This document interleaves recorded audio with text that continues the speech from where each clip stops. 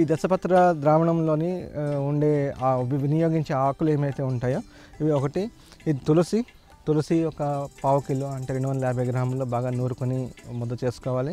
అలాగే కలబంద ఇదేమో పావు కిలో తీసుకొని దాన్ని బాగా నూరి ముద్ద చేసుకోవాలి. పొగాకు ఇది కూడాను పావు కిలో తీసుకొని దాన్ని ముద్ద ముద్దలాగా అంటే పౌడర్ లాగా చేసుకోవాల్సి ఉంటుంది.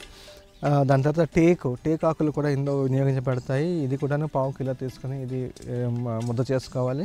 అలాగే పిచ్చి తులసి ఉపయోగిస్తాము. పిచ్చి తులసి కూడాను పావు కిలో తీసుకుంటాము. పావు కిలో తీసుకొని ముద్ద చేసుకుంటాము.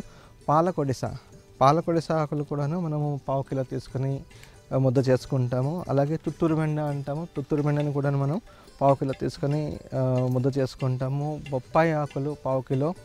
ముద్ద చేసుకోవాలి. అలాగే కాగితం పూలు బోగన్ విల్ల అని ఏదైతే అంటామో దాన్ని కూడా పావు కిలో తీసుకొని మనము ముద్ద చేసుకోవాలి. వేప వేపాకులను కూడాను మనం ఒక పావు కిలో చొప్పున మనం తీసుకొని దాన్ని ముద్ద చేసుకొని ఒక ఐదు లీటర్ల పశువుల మూత్రం ఏదైతే ఉంటుందో దాన్ని వీటిలన్నిటికీ జోడిస్తాము. అలాగే ఐదు లీటర్ల నీళ్ళు కూడాను మనము ఈ దీంట్లో కలిపి దీన్ని పది రోజుల పాటు మురగబెడతాం అనమాట ఈ మురగబెట్టిన తర్వాత ఇది చాలా దీన్ని మనం చేలల్లోని పిచికారీ కోసం వాడతాం. ఇది చాలా పవర్ఫుల్గా ఉంటుంది. ఇది వరిలోని ఆకుముడత పురుగు దాని తర్వాత వేరుశనగలోని ఆకుముడత దాని తర్వాత పొగాకు లద్దె పురుగు పత్తిలోని వచ్చే కాయతొలుచు పురుగులు ఇటువంటి వాటికన్నిటికీ ఇది చాలా ఎఫెక్టివ్గా పనిచేస్తుంది.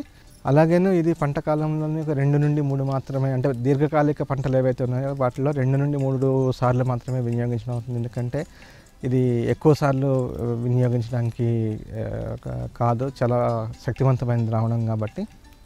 అదే తక్కువ పంట కాలం ఉన్న పంటల్లో అయితే ఒకటి నుండి రెండు సార్లు వీటిని ఉపయోగిస్తాము.